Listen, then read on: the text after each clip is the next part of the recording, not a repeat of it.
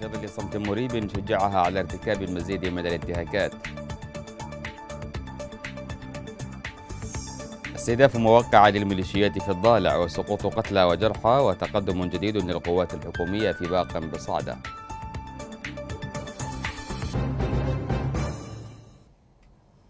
السلام عليكم ورحمة الله. تصعيد متواصل في الحديدة وانتهاكات يومية ترتكبها بحق المواطنين في المدينة وريفها فضلا عن الاستهداف المتواصل لمواقع القوات المشتركة متحدية كل محاولات السلام.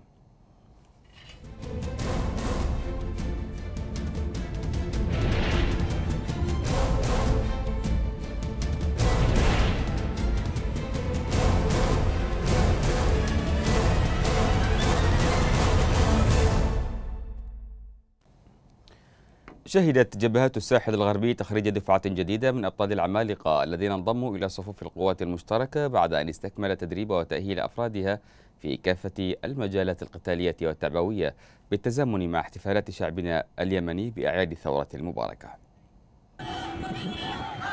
تخرجت الأربعاء دفعة جديدة من أبطال اللواء السابع عمالقة وانضمت إلى صفوف القوات المشتركة بعد أن استكمل أفرادها الدورة التأهيلية بتفوق. والذين أثبتوا قدرة عالية على استيعاب البرامج التدريبية المختلفة في كافة المجالات القتالية والتعبوية وتزامن تخرجهم مع احتفالات شعبنا بأعياد الثورة اليمنية الخالدة السادس والعشرين من سبتمبر والرابع عشر من أكتوبر. الإعلام العسكري للقوات المشتركة أكد أن هذه الدفعة الجديدة ستمثل إضافة نوعية لمنتسبي اللواء السابع عمالقة. الذي كان لهم دورا كبيرا في معارك تحرير الساحل الغربي. حيث تلقوا خلال فترة التدريب العديد من المهارات القتالية من خلال مدربين متخصصين في كافة المجالات العسكرية ومن ذوي الكفاءات العالية والخبرات المتميزة في ساحات القتال. بعد تسليحهم بالمهارات القتالية العالية التي اكتسبوها خلال فترة التدريب بما سينعكس على أدائهم في أرض المعركة أكان في الصحاري أو الجبال أو داخل المدن.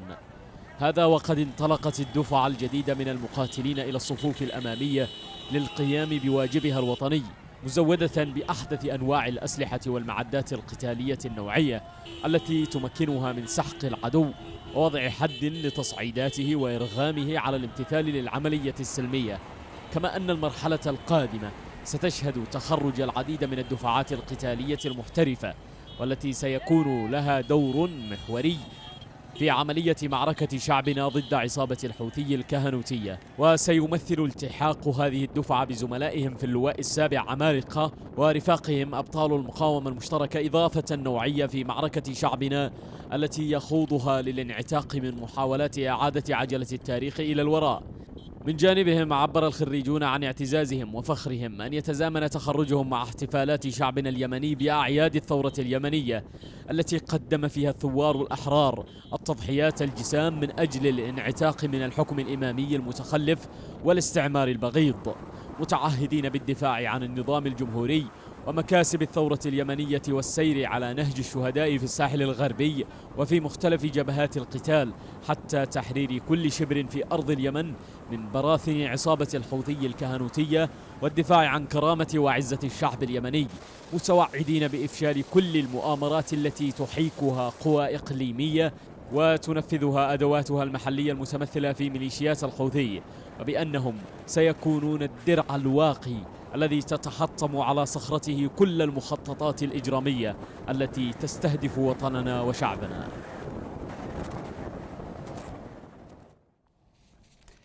أفشلت القوات المشتركة هجوما حوثيا واسعا في حيس وأحبطت تسللا في الفازة في إطار تصديها لخروقات الميليشيات ورصدها الدقيق لكل تحركاتها المريبة في الحديدة ومدينتها.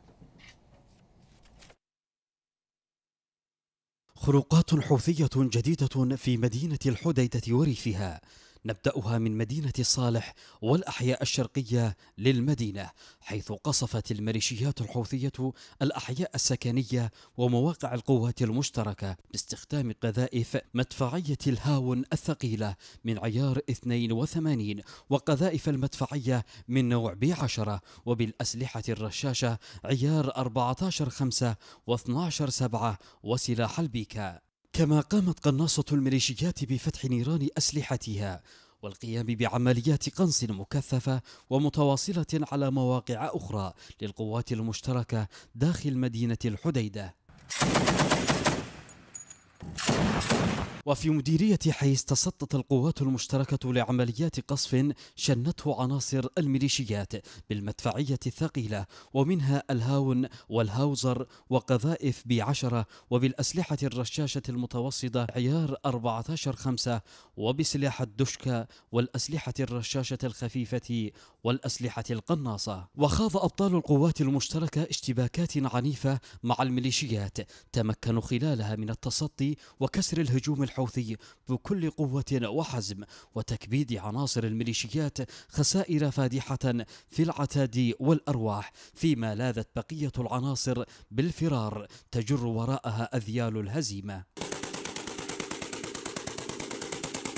أما في مديرية التحيتة فقد أحبطت القوات المشتركة محاولة تسلل قامت بها مجاميع من ميليشيات الحوثي على مواقع القوات في منطقة الفازة الساحلية. استخدمت فيها مختلف أنواع الأسلحة الثقيلة والمتوسطة والقذائف المدفعية. كما أن الميليشيات أطلقت عشرات القذائف بصورة عشوائية صوب منازل المواطنين ومواقع القوات المشتركة عقب فشلها في التسلل واستخدمت قذائف مدفعية الهاون الثقيل بشكل مكثف وعنيف.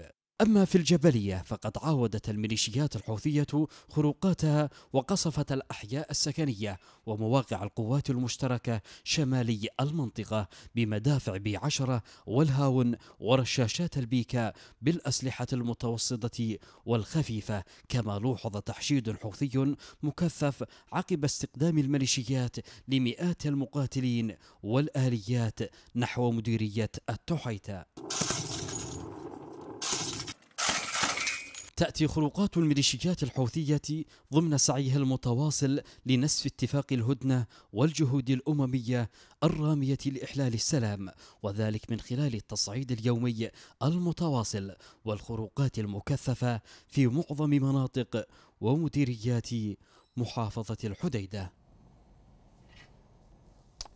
أفشل أبطال القوات المشتركة في الساحل الغربي هجومين لميليشيات الحوثي. استهدفا منطقة الفازة على الخط الساحلي جنوب الحديدة وحيس بالتزامن مع وصول مبعوث الأمين العام للأمم المتحدة إلى صنعاء في مهمة ما تزال مخرجاتها غامضة. وصول جريفيث إلى صنعاء لا يعني أن ميليشيات الحوثي في الحديدة ستقف عند حدها. فهذه الجماعة تتعامل مع الجميع برأسين. أحدهما يبتسم سياسيا والآخر يفكر كيف يبطش بكافة من عاداه. فكر ميليشياوي ليس بجديد لمن خبر هذه الجماعة وتعامل معها. وبالتزامن مع محاولة جريفيث جر الميليشيات إلى مربع مفاوضات سلام جديد. يعتقد أنه سيقام في الكويت. كانت مجاميع حوثية متسللة من زبيد. قد تحركت إلى الفازة المطلة على البحر جنوبي محافظة الحديدة. محاولة طيش تزامنت مع قصف حوثي لمركز مديرية التحيتة بقذائف الهوان على منازل المواطنين. ومن زبيد إلى الجراحي التي كانت ليلة الثلاثاء منطلقا لهجمات جديدة على حيس التي أفشلت فيها قوات المقاومة المشتركة هجوما مرتبا بعناية تزامن مع تحشيد حوثي غير مسبوق. يتوافق مع الدخول في فصل سياسي جديد ومحاولة حوثية يرى مراقبون أنها نشوة ما إن انطلقت حتى خابت ككل مرة. بات الحديث عن هدنة أممية في الحديدة وستوكهولم مخلفات ماض أليم. جعل من هذه المحافظة في خانة لا سلم ولا حرب. يتزامن التصعيد الحوثي مع خفوت تام لنجم الأمم المتحدة في هذه المحافظة التي كانت ترى فيها منطلقا للسلام الشامل في اليمن فالأجندات بحسب مراقبين قد توجهت إلى مربعات أوسع ومعي عبر الهاتف العقيد عادل الهرش من المقاومة الوطنية سيرة العقيد مرحبا بك خروقات يومية ترتكبها الميليشيات في أو بالتزامن مع زيارة أخيرة تبدو مخرجاتها كما استمعت إلى هذا التقرير غامضة. كيف تقرأ هذا التزامن وكيف سيتعاطى الأخير مع مثل هكذا خروقات؟ مرحبا بك أخي العزيز والسادة المشاهدين والمستمعين لقناة اليمن اليوم. كما هو الحال وكما كنا قد تحدثنا مرارا وتكرارا في عدة نشرات سابقة عن هذا الموضوع وهي الخروجات الحوثية التي تقوم بها في داخل مدينة الحديدة وخارجها وبشكل يومي. وإلى هذه اللحظة مستهدفة مواقع القوات المشتركه والمنشآت الحيوية والأحياء السكنية ومنازل المواطنين تسعى هذه الميليشيات في محاولة فاشله منها منذ سنوات الهدنة حتى الآن إلى استعادة بعض المناطق التي كانت قد حررتها القوات المشتركة منها قبل توقيع اتفاق ستوكهولم في أواخر العام الماضي. فعلى سبيل هذا القبيل على الأمم المتحدة ومندوبها غريفه أن يتحملوا المسؤوليه القانونية والإنسانية في هذا الجانب بصفتهم الراعين الرسميين لاتفاق السويد والتي مر عليها إلى الآن أكثر شيء يذكر على الأرض. وهم الذي أخرجوا القوات المشتركة من داخل الحديدة والتي كانت على حجر من مينائها وتحرير المدينة. في ظل وفي ظل سكوت و نعم. هذا السكوت هذا السكوت هل هل هل تقرأه تواطؤا ومباركة لما يحدث أم أن لك قراءة أخرى حول ذلك؟ على ما تدل الأحداث بعد مرور كل هذه المدة من بعد اتفاقية ستوكهولم أن هذه الاتفاقية أو ما ي... نعم. وما يسعون إليه من من مفاوضات قادمة فهي يا أخي العزيز بمثابة صكوك الغفران واتاحه الفرصة لهذه الميليشيات اللي تستمر في غيها. فكما قلت لك سابقا على الأمم المتحدة وعلى غريفه وعلى مجلس الأمن أن يتحملوا المسؤولية في هذا الجانب نعم. وأن يضغطوا على هذه الميليشيات أن ينصاعوا إلى تنفيذ اتفاقية ستوكهولم. ما لم فإن أعلنوا موقفهم هذا عجزهم والقوات المشتركة ستقوم بواجبها وتحرر الحديده وتحرر اليمن وتنقذ المواطنين الأبرياء من هذا الصلاة. سيرة العقيدة عادل هرش المقاومة الوطنية كنت معي عبر الهاتف. أشكرك جزيل الشكر. في الضالع نفذت وحدة خاصة من اللواء 30 مدرع عملية نوعية استهدفت ثكنة لمسلحي الحوثي في جبهة شخب غرب مديرية قعطبة وأكد مصدر ميداني أن العملية انتهت بمقتل مجموعة من عناصر الحوثي في أسفل الطريق المؤدية لموقع الخزان خلال صعودهم لتغيير خدمة الليل. كما نفذت وحدة خاصة عملية تسلل نوعية أضرمت خلالها النيران في مواقع الحوثي ودمرت أسلحتهم بقنابل يدوية ليلوذ من تبقى منهم بالفرار نحو الوادي. نفذ أبطال القوات الحكومية عملية عسكرية نوعية على عدد من المواقع بمديرية باقم شمال صعدة. مصدر عسكري ذكر أن أبطال اللواء 102 خاصة في أو شنت هجوما واسعا بدعم وإسناد مدفعي على مواقع مختلفة للحوثيين شرق جبل شيحاط الاستراتيجي ومواقع أخرى غرب قرية آل مزهر جنوب شرق مركز مديرية باقم. وأفادت المصادر أن الهجوم تكلل بالسيطرة الكاملة على تلك التباب والمواقع وسط سقوط عشرات القتلى والجرحى في صفوف الميليشيات عبد العالم دحلان مراسلنا في كل من صعدة والجوف معي عبر الهاتف عبد العالم ماذا لديك حول الجديد؟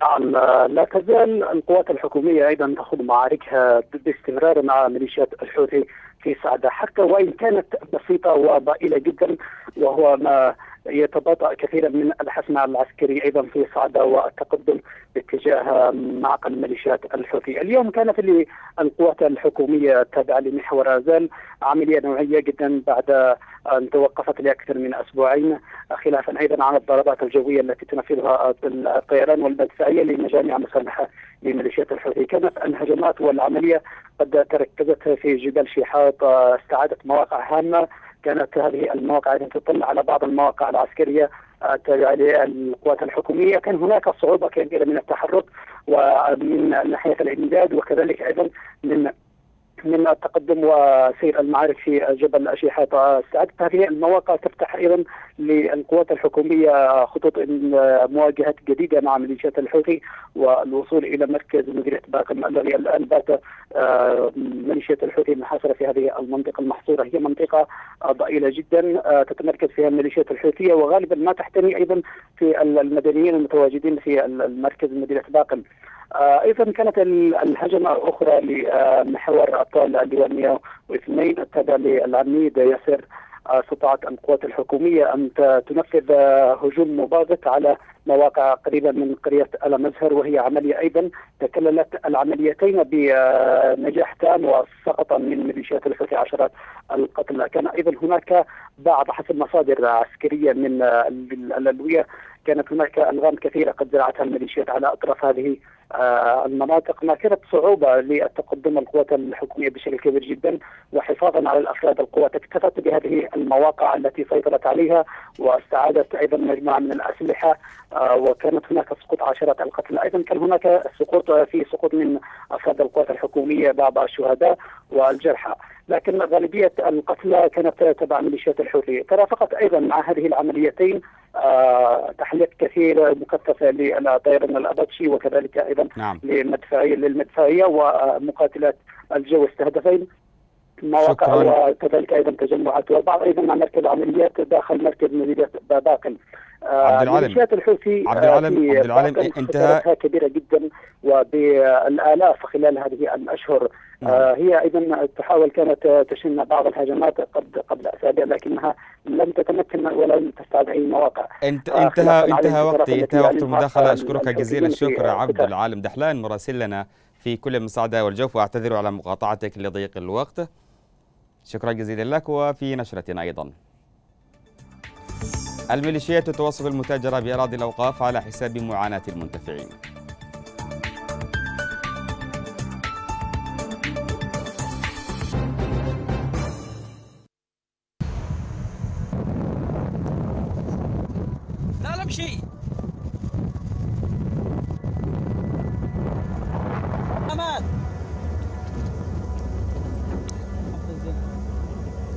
هذا هو محل استهداف الحواث الذين استهدفوا المواطنين وهم نائمين. هذا هو الصاروخ. في الساعة 4 ما سمعنا الضربة في من الحوثيين في المخيم. ها.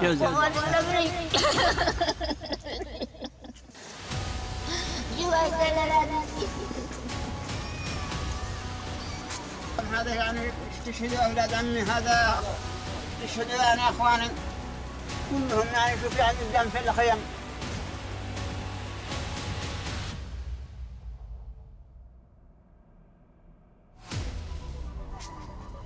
الدم في الخيم يعني كل كان يعني رؤوسهم ما التقوش الرأس ما التقاش الرأس ما التقاش الحمد لله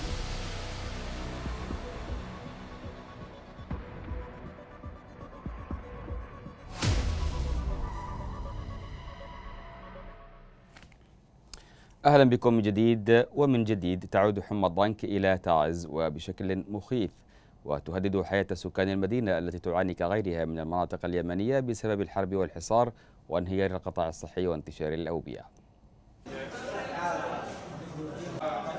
لا شيء يتقاسمه اليمنيون في حياتهم سوى الضنك بكل أشكاله فكثيرة هي الأمراض التي يصارعونها منذ بدء الحرب العبثية التي أشعلت ميليشيات الحوثي على اليمن واليمنيين. حمى الضنك أثارت موجة انتشار كبيرة لا سيما في محافظة تعز وهو ما أثار هلع المواطنين خصوصا بعد تسجيل السلطات الصحية في المحافظة أكثر من 1100 إصابة بهذا الوباء.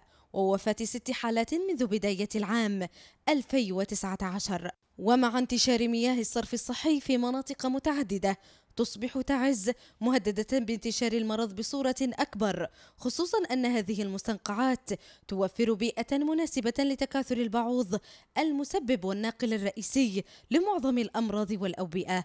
وتقول منظمة الصحة العالمية أن حمى الضنك هو مرض فيروسي سريع الانتشار تنقله إناث البعوض إلى الإنسان لتصيبه أعراض الحمى الشديدة والصداع الحاد وآلام خلف العيون والعضلات والمفاصل. إلى جانب الغثيان والقي وانتفاخ الغدد والطفح وتتطور الإصابة به إلى حمى الضنك الوخيمية وهي ما تسبب في أحيان كثيرة وفاة المصابين.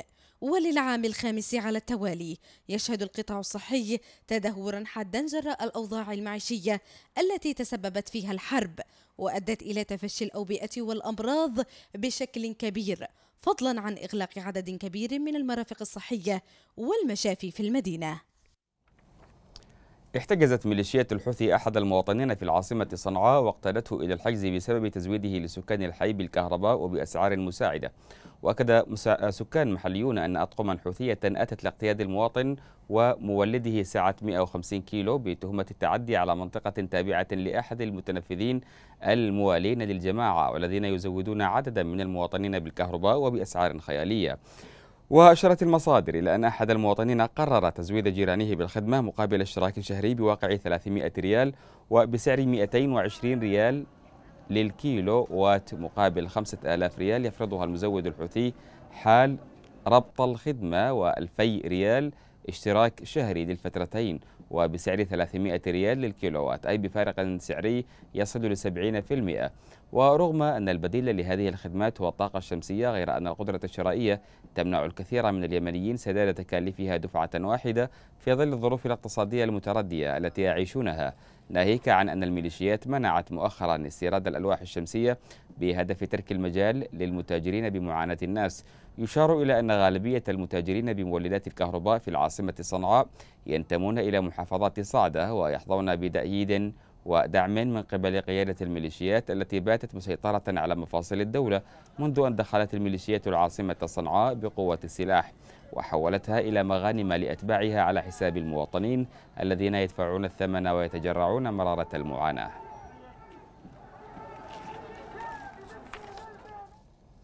تواصل الميليشيات انتهاكاتها ومتاجرتها أيضا بأراضي الأوقاف على حساب معاناة المنتفعين من أراضي ومنازل للأوقاف في هدف العاصمة صنعاء والمناطق الخاضعة لسيطرتها. في إطار سعي ميليشيات الحوثي للتكسب وتمويل حربها العبثية تعمل على ابتكار طرق وأساليب عدة من شأنها أن تعود بأموال طائلة لصالحها. في الوقت الذي يعاني الكثير من المواطنين الفاقة والجوع التي جلبتها لهم الميليشيات. مؤخرا فرضت الميليشيات عبر وزارة الأوقاف والإرشاد في العاصمة صنعاء الخاضعة لسيطرتها على ملاك الأراضي والعقارات 500 ريال شهريا كإيجار أرض. هذا إشعار من مكتب الأوقاف يلزم مالك الأرض بالتسديد في مدة زمنية أقصاها ثلاثة أيام. يتعرض بعدها مالك الأرض للاعتقال. هذه الحالة واحدة من آلاف الحالات التي تحدث في العاصمة صنعاء الخاضعة لسيطرة الميليشيات التي تسعى للتربح على حساب المواطنين وكسب المزيد من الأموال تحت حجج وذرائع تعمل على اختلاقها وتسعى عبر مشرفيها وعناصرها لتنفيذ مشاريع السلب والنهب. الميليشيات كثفت خلال الأيام الماضية من حملاتها الميدانية في العاصمة صنعاء لمصادرة أموال الأوقاف من المنتفعين بها سواء كانت أراض أو مبان أو حتى شققا سكنية بعدما قامت بطباعة سندات تحصيل غير قانونية ومخالفة للقانون الذي يشترط أن تكون السندات صادرة من وزارة الأوقاف.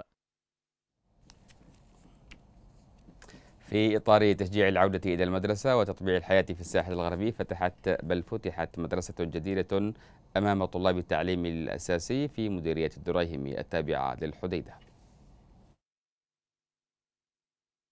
تسعى القوات المشتركة في الساحل الغربي إلى إعادة تطبيع الحياة بتأهيل البنية التحتية للكثير من المشاريع الحيوية الهامة التي تساعد المواطن على الاستقرار في المناطق المحررة وفي طليعتها بناء المدارس التي دمرتها الميليشيات بالتعاون مع هيئة الهلال الأحمر الإماراتي حيث افتتح محافظ الحديدة مدرسة للتعليم الأساسي في مديرية الدريهمي التي تم إعادة بنائها وتأهيلها بعد أن دمرتها الميليشيات الحوثية كليا. وحرم طلاب المنطقة من التعليم فيها لمدة سنتين. شكرا الذي قامت ببناء مدرستنا وهي كانت محطمة ومهدمة. الذي جابوا جابوا لنا كراسي جابوا لنا كتب جابوا لنا دفاتر أقلام ألاوين محافظ الحديدة عبر عن الشكر الجزيل للقوات المشتركة وهيئة الهلال الأحمر على إعادة بناء مدرسة الفجر الجديد وتأمينها في منطقة الطائب بمديرية الدريهمي والتي تعكس صورة جلية لحجم الدعم السخي والدور الكبير الذي تقوم به هيئة الهلال الأحمر والقوات المشتركة في تطبيع الحياة بالمديريات والمناطق المحررة وعلى وجه الخصوص القطاعات ذات الصلة بحياة الناس. لا بد أن نبادرهم بنفس الشعور ونبادر ونبادرهم بنفس بنفس الحماس. أنتم تتدافعون الآن وتأتون من أبعد القرى كي تتعلموا. بينما الحوثي للأسف يدمر المدارس ويدمر المستشفيات. نحن نبني وهو يدمر. ممثل الهلال الأحمر الإماراتي من جهته أكد أن افتتاح المدرسة وتوزيع الحقيبة والزي المدرسي لمنتسبيها يأتي في إطار حملة العودة إلى الدراسة في الساحل الغربي التي دشنتها هيئة الهلال وتشمل افتتاح وتأثيث 16 مدرسة وتأثيث 10 مدارس أخرى. اليوم في عزلة الطائف بمديرية التريهمي في الساحل الغربي نفتتح مدرسة الجيل الفجر الجديد. هذه المدرسة التي تم تأهيلها وترميمها وأيضا تأثيثها وفي هذا اليوم تم الافتتاح مع توزيع الزي المدرسي والحقيبة المدرسية. وخلال الافتتاح تم توزيع الحقيبة والزي المدرسي لطلاب وطالبات المدرسة البالغ عددهم نحو 600 طالب وطالبة وذلك بهدف التخفيف من المعاناة عن كاهل الآباء وتشجيع طلابي بالعودة إلى المدارس بعد أن حرمتهم الميليشيات الحوثية منها منذ أكثر من سنتين ضمن مشروعها في نشر الأفكار الضالة ومحاربة التعليم.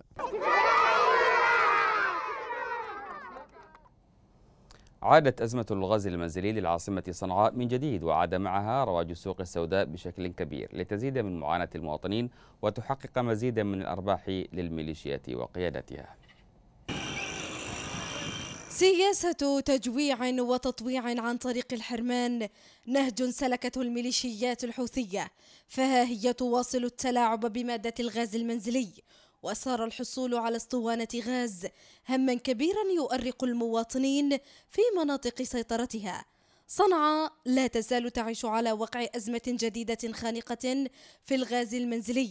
في وقت تتوفر اسطوانات الغاز بكميات كبيرة في السوق السوداء ولكن بأسعار مرتفعة تفوق قدرة المواطن الشرائية خاصة مع الوضع المعيشي المأساوي لغالبية الأسر حيث وصل سعرها إلى 11 ألف ريال. المواطنون الذين وقفوا في طوابير طويلة علهم يحصلون على اسطوانة غاز. في وقت تستمر الميليشيات في احتجاز مقطورات الغاز في عمران وذمار وعدم السماح بدخولها ضمن خطة لبيعها في السوق السوداء. ميليشيات الحوثي سبق لها وأن فرضت مبلغ ألف ريال على سعر اسطوانة الغاز المنزلي وكلفت عقال الحارات المعنيين ببيع اسطوانات الغاز للمواطنين بتحصيل مبلغ خمسة آلاف ريال عن كل اسطوانة غاز بحيث تذهب الزيادة السعرية لصالح ما تسميه المجهود الحربي. تعسفات حوثية وابتزاز للمواطن الذي يعاني من وضع اقتصادي يزداد تدهورا كل يوم خصوصا مع وقف الميليشيات رواتب العاملين في القطاع الحكومي وانقطاع مصادر الدخل في القطاعات الأخرى. نبقى الآن مع الملف الاقتصادي.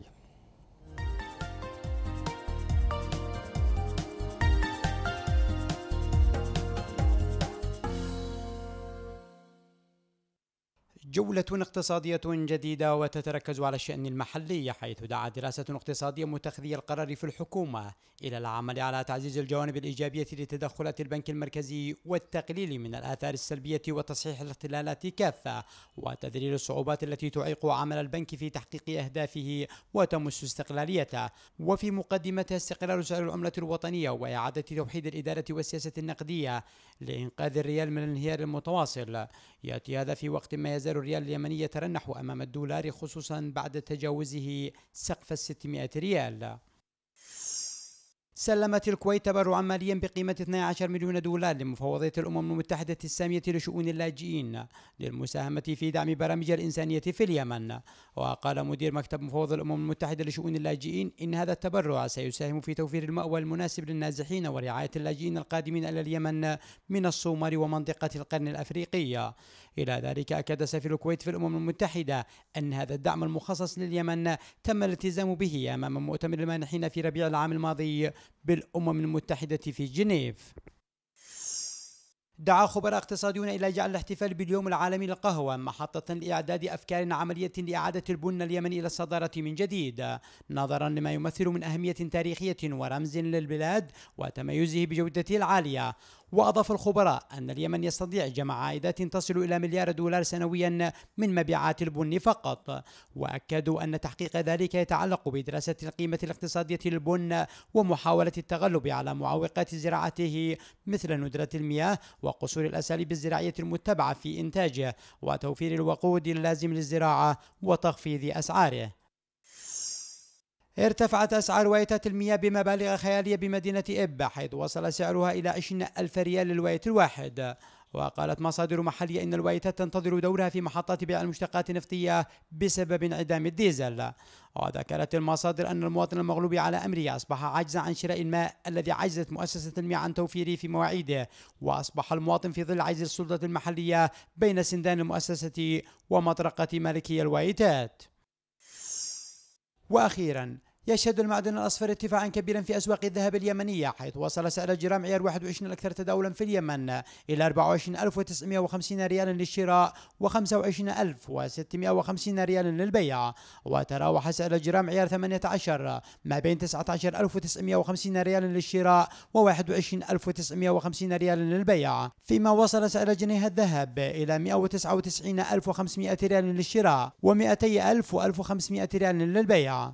وعزى صاغة هذا الارتفاع نتيجة ارتفاع سعر الدولار مقابل الريال اليمني إلى مستويات قياسية.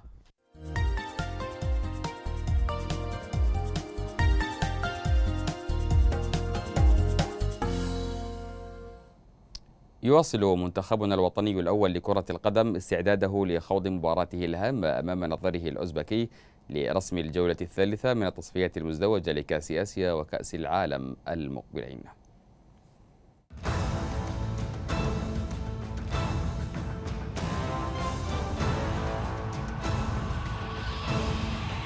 يواصل منتخبنا الوطني الأول لكرة القدم استعداده الجاد والمكثف لخوض مباراته الهامة أمام نظيره الأوزبكي لرسم الجولة الثالثة من التصفيات المزدوجة لكأس آسيا الصين 2023 وكأس العالم قطر 2022 والتي ستقام في العاشر من الشهر الجاري في إطار المجموعة الرابعة التي تضم أيضا منتخبات السعودية وفلسطين وسنغافورة ويتوقع أن تغادر بعثة المنتخب خلال الأيام المقبلة للعاصمة الأوزبكية تشقند بعد إنهاء المعسكر الخارجي الحالي الذي يقام في مدينة الرياض السعودية لمدة قاربت ثلاثة أسابيع من دون خوض أي مباراة تجريبية منذ مباراته الماضية في البحرين أمام المنتخب السعودي والتي أفضت إلى تعادل إيجابي ثمين بهدفين لكل منتخب. ووضع الجهاز الفني بقيادة المدرب الوطني سامي النعاش اللمسات النهائية للشكل الفنية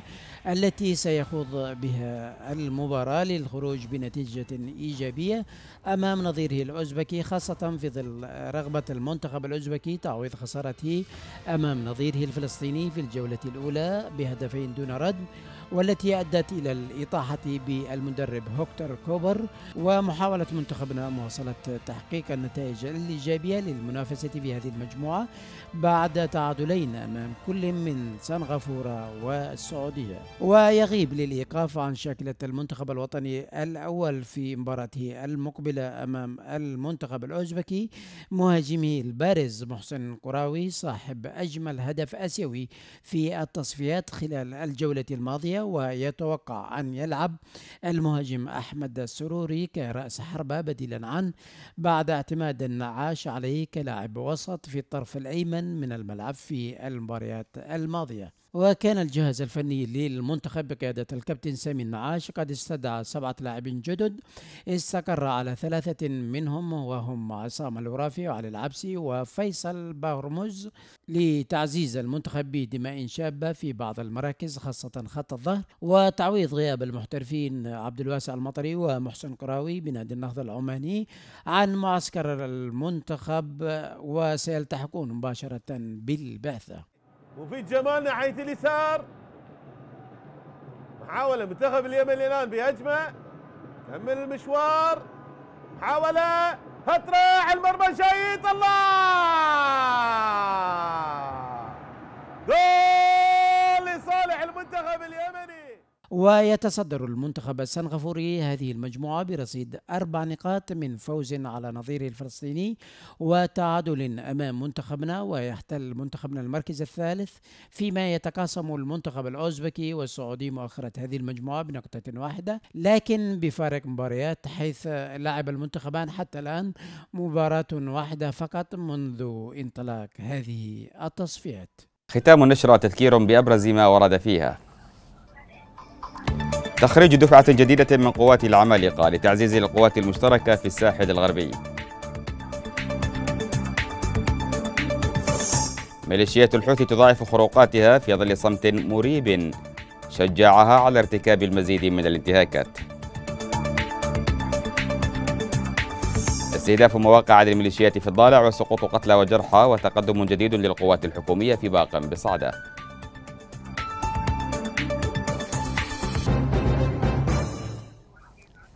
انتهت نشرتنا ولكن بإمكانكم المتابعة للبث الحي عبر موقع القناة. في أمان الله.